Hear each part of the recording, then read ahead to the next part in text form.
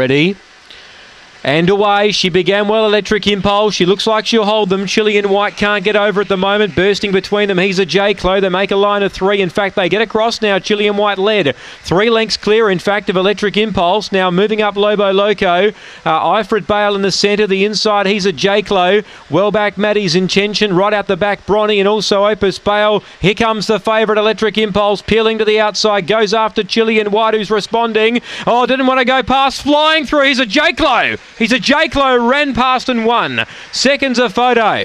Good go that too. Lobo Loco and Ifrit Bale, I think, are the two.